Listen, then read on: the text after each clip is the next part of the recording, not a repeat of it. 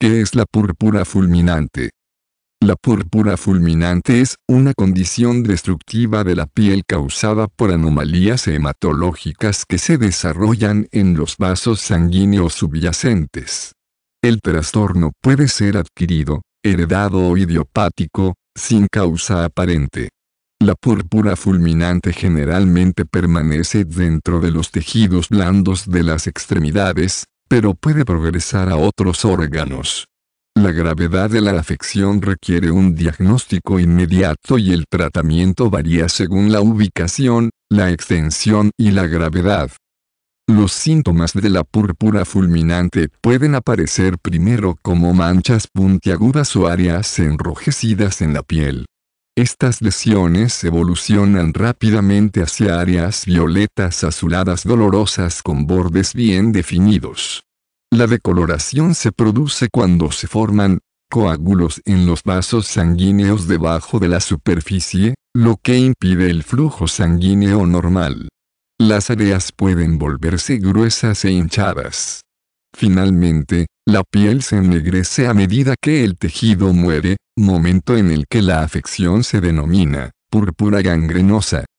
En casos extremos, el cuerpo consume todos los factores de coagulación disponibles y ya no puede detener el sangrado. La hemorragia subdérmica produce moretones.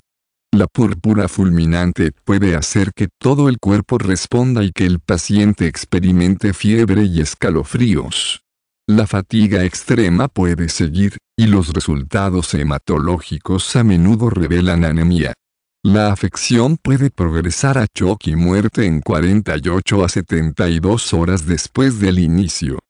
La forma adquirida de la aflicción típicamente involucra una infección bacteriana o viral previa.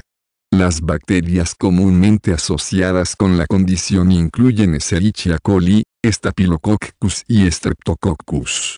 Los pacientes pediátricos pueden haber tenido varicela, sarampión o meningitis antes de mostrar síntomas de púrpura.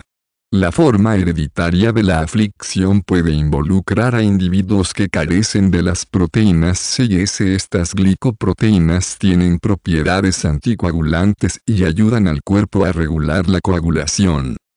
Los médicos suelen recetar antibióticos o medicamentos antivirales si persisten las infecciones no resueltas. El tratamiento de la púrpura fulminante generalmente incluye anticoagulantes para prevenir el agotamiento de los factores de coagulación y ayudar a la posible reversión de la necrosis tisular. Los proveedores de atención médica pueden ordenar medicamentos para eliminar coágulos para disolver los coágulos existentes. Los pacientes pueden requerir transfusiones de sangre si la afección avanza hasta el punto de hemorragia.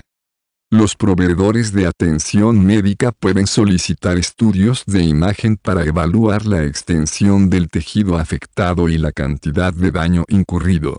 Las personas a menudo reciben líquidos por vía intravenosa para corregir los desequilibrios metabólicos y mantener la función de los órganos.